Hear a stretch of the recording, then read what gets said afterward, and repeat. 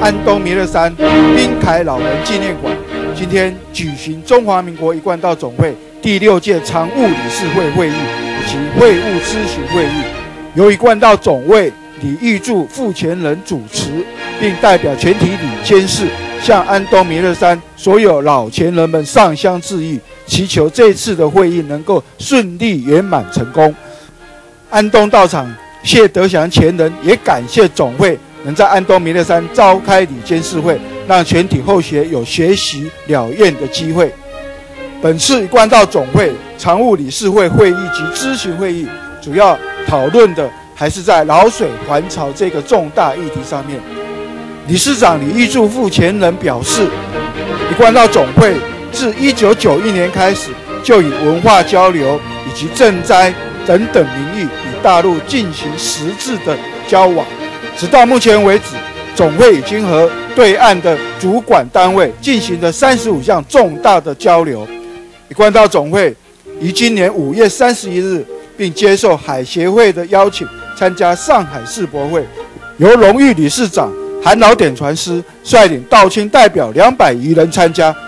由于海协会可以说是代表大陆的官方代表，海协会这次邀请一贯道总会参加世博会。可以说是为老水还潮踏出重大的一步，但是所有参与会议的点传师以及前人辈们都表示，老水还潮是我们一贯道弟子非常神圣而且巨大的一个任务，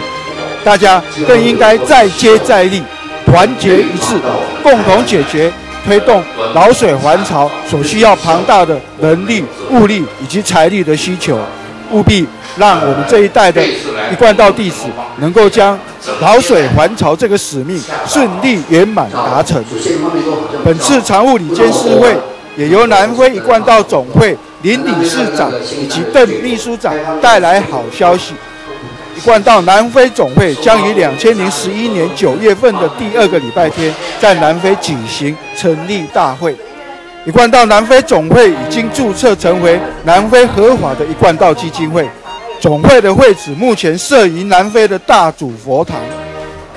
常务理监事会及咨询会议结束之后，立刻随即召开中华民国一贯道总会第六届第十次理监事联席会议。首先由安东到场，谢德祥前人向与会的全体理监事代表介绍安东弥勒山。滨凯老前人纪念馆整个新建的一个过程，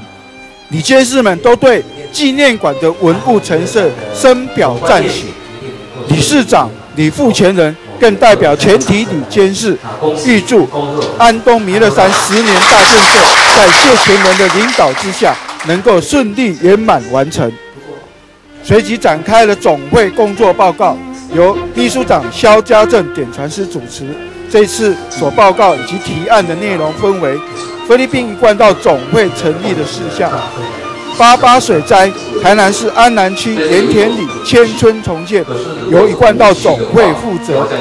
今年中秋将举办师母成道三十五周年追思感恩活动，以及将在明年配合政府举行建国百年的庆祝活动。不过，所有李监事们还是对于老水还潮的工作深表关切，纷纷发表热烈发言。